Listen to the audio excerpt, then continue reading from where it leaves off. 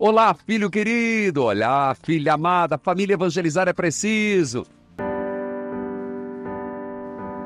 É sábado e vamos louvar a Deus toda essa semana que tivemos e agradecer a Deus por este sábado, por esse final de semana, dizendo: Senhor, quero começar o dia e terminar o dia vivendo segundo discípulo seu.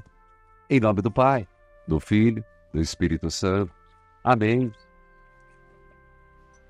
Senhor Jesus, que este dia transcorra na tua presença. E por isso, neste momento de oração, peço a tua proteção e, de modo particular, te consagro o meu trabalho, o meu viver, cada minuto e cada hora. Ajudai-me a vencer todas as barreiras. Não permita, Senhor, que as cruzes que aparecerem neste dia me levem ao desânimo e a perder a fé. Quando a cruz pesar, Senhor, dai-me forças para continuar carregando-a. E se por acaso o peso da cruz de hoje for demasiado para mim, mandai-me um Simão Sirineu para me ajudar a carregá-la. Senhor Jesus, quando os insultos forem demais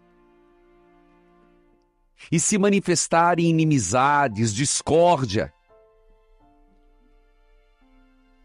Não deixe que meu espírito fique atormentado.